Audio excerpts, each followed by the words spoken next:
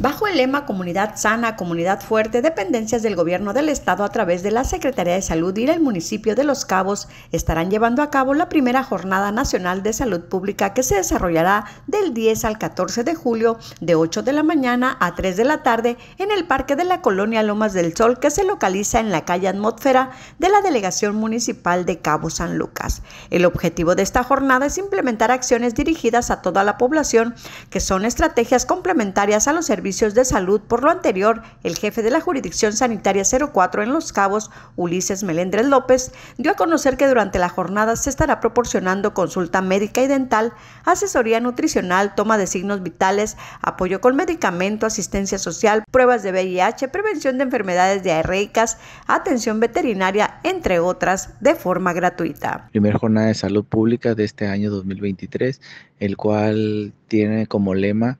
eh, comunidad sana, comunidad fuerte. Entonces, eh, le iniciamos en la colonia Lomas del Sol, primera etapa, en conjunto con Salud Municipal a cargo del doctor Juan Carlos Costich. Un conjunto de actividades preventivas eh, que llevamos a cabo este, este día lunes. Entonces, se seguirá llevando del 10 al 21 de, de julio. Al respecto, el jefe de la Jurisdicción Sanitaria 04 declaró que se contará con la participación de la Dirección Municipal de Salud, del Instituto Mexicano del Seguro Social, así como del Instituto de Seguridad y Servicios Sociales de los Trabajadores del Estado, quienes tendrán a cargo la aplicación de la vacuna contra la influenza, difusión sobre la salud sexual reproductiva, salud bucal, higiene personal y alimentación saludable. Por su parte, el director municipal de salud, Juan Carlos Costich Pérez, destacó que la atención va encaminada a atender a personas de todas las edades, con acciones integrales de promoción, prevención y educación para la salud, puntualizando los cuidados de los grupos más vulnerables para contribuir a mejorar su calidad de vida. Se hizo extensiva la invitación a la comunidad en general para que asisten y aprovechen